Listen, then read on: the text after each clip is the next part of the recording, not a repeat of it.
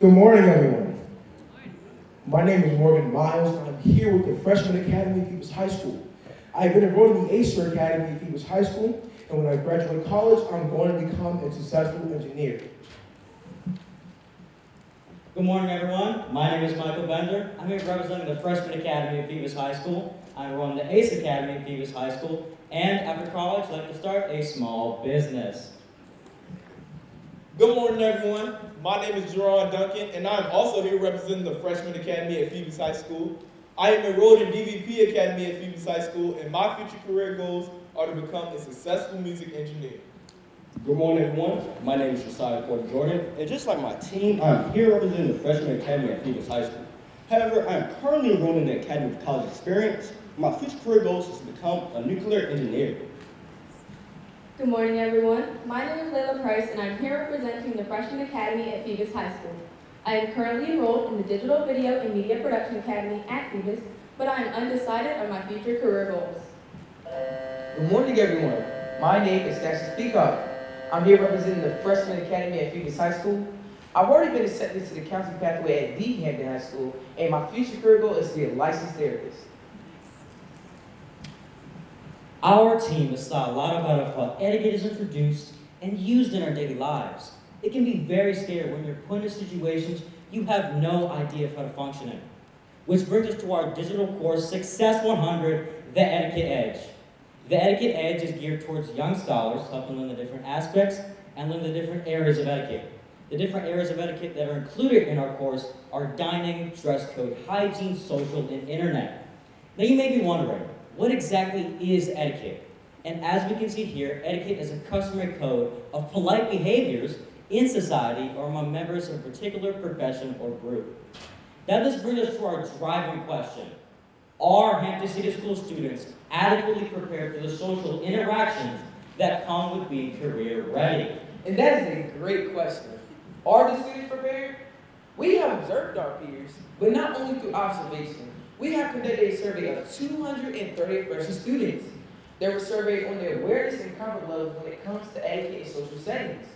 While 67 of students were aware and comfortable with etiquette and social settings, 171 of students, they were unaware and uncomfortable with etiquette and social settings.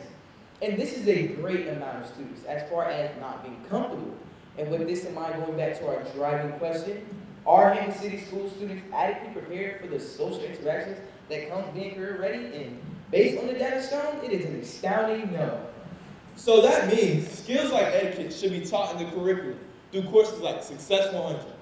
Now, I know you all are probably wondering, what exactly is the Success 100 digital course, The Etiquette Edge? The Etiquette Edge is a digital course that helps our young learners learn when and where to use etiquette. We visited Captain John Smith Elementary School to help on training our digital course. This began the process of ensuring our young learners learn when and where to use etiquette and its social norms. We observed many of our peers starting to stand out due to a lack of understanding of proper etiquette. If we embrace etiquette ourselves, while also passing that knowledge to younger students, we can create a cycle. That cycle could bring us into a better learning environment each day, contributing to a greater society as a whole. Now, our team has spent a lot of time reflecting on what my partner Cassius said and on the curriculum. This is a great disparity as far as the number of students who are not comfortable with their sense of self and purpose. That tells us that there are students who are not meeting the criteria of a portrait of a Hampton graduate.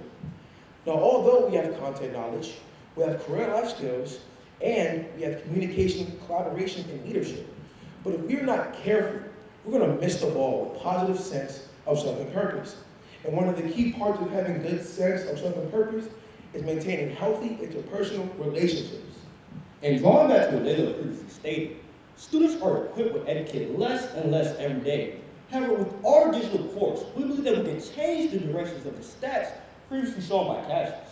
We have demonstrated this by partnering with Captain John Smith Elementary, where the students quickly grasp and then model the concept shown. And just as we did at John Smith, we hope to be able to in schools both inside and outside the district. With our digital course, we believe that it can change the entire demographic of what the portrait of a Hampton graduate is supposed to reflect, really honing on Superintendent's Master Plan 2.0.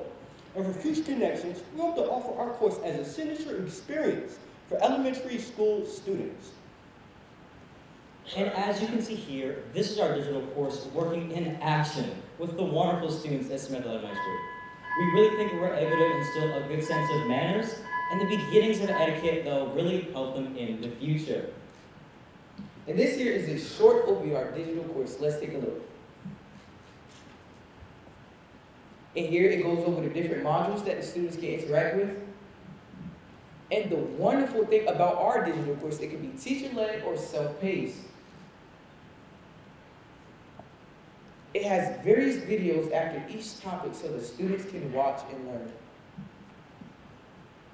And at the conclusion of all modules, the young learners are able to take a final test to certify themselves as a certified AKA explorer. After our visit, we sent a survey to Smith Elementary School to assess our performance, preparedness, and engagement. There were some things we could improve on, such as our preparation and engagement, but we're going to keep that in mind for our future visits. While completing this project, there were many things that made us proud. However, there's a couple areas that we can improve on, such as having more hands-on activities for our young learners to help model what we're trying to convey. Another area that we can improve on is time management. We feel we spent a lot of time working on our actual digital course and not enough time on follow-ups with our young learners. As a recommendation to Hampton City Schools, we believe that a class similar to Success 101, although tailored to elementary and middle school students, should be implemented into the curriculum. Instead of covering career readiness, it will cover subjects that help convey a positive sense of self-worth and maintaining healthy interpersonal relationships. We also highly recommend Success 100, the Etiquette Edge, be a signature experience at an expo similar to the one freshmen attended back in October, though for elementary and middle school students. Now, before we get to our questions, we have ourselves a self-assessment. The items we've assessed ourselves on are citizenship, collaboration, communication, creative thinking, critical thinking, and wellness. And over here, we have our scores. We would like to give you time to review amongst yourselves. And reflecting back on the presentation, we can tell that Success 100 is helping students reach the expectations to become a Hampton graduate. However, career readiness is often first introduced to us during our freshman year of high school. And how can we really be career ready without the appropriate level of social training? That's what our digital course comes to action. Success 100. We believe that Success 100 should be taught to both elementary and middle school students. This will allow those students to reach those levels of preparation at an earlier age, also allowing them to prevail during a high school experience. We thank you for all your time, attention, and support, and we look forward to being instrumental in implementing a greater society. With that being said, that brings us to our questions. Thank you, team. Judges, you may now begin your three-minute question and answer session.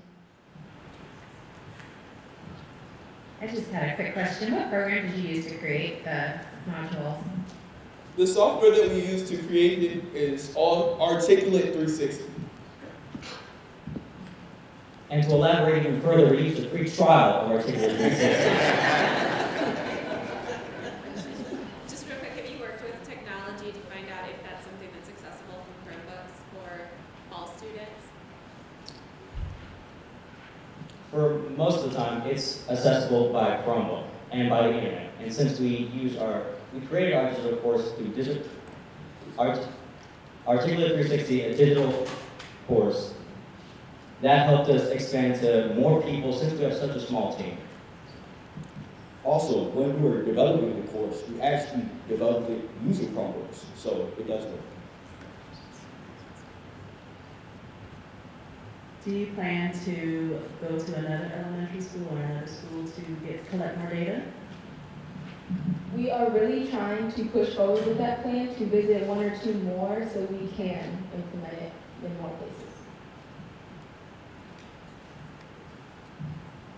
So, uh, what age group are y'all, focusing on that? Because I know you said like elementary, right, that y'all went there. Um, you have first and fifth grade there, so what, is it just elementary as a whole, or are you focusing on one particular, like, age group or grade level? So we are trying to uh, target areas where uh, the youth are starting to develop. So that would be fifth grade and maybe seventh. So those areas where students are, are starting to transition, is where we're trying to implement our course. So fifth and, to seventh grade. Now, two part to that, second part to that is, I see that you guys, the way that you got your impact measurements was that you surveyed two hundred and thirty-eight freshman students to determine their level of comfort when it came into social interactions and etiquette, right? So my question is, you used two hundred and thirty-eight freshman students, but you implemented on elementary age kids, right? So two different levels of understanding, let's just say. So the first part to that is, how are you gonna implement a plan to be on the level of elementary school age kids, fifth to seventh grade? And then also, what about the freshmen that y'all surveyed? What about their etiquette? Um, can you restate the question? Okay. So here we are, two parts. You did a survey on two hundred and thirty-eight freshman students, right? So thirty-eight freshman students, level of understanding when it comes to etiquette, right, and social interaction. You use it which you took to survey two hundred and thirty-eight freshman students, which you implemented on fifth and seventh graders. Two levels, grade levels of understanding. How are you gonna change your plans to fit the grade level that you're teaching etiquette, uh, training? Yeah, yeah, um, like, like you were saying, yeah, it's for fifth grade. In, in, in our high school, um, we were gonna actually, you know, teach the kids that needed help with social training and like, you know, etiquette and just help them. And, and they could just use our digital course as well, just for, you know, all ages that don't know about etiquette. So are you, are you saying your course is a one size fits all? So our course is mainly for that age group, but we wanted to survey freshman students to show that there is no etiquette training in that age group when there should be. You all put a, a, a pie chart up that I think is broken into three categories of engagement.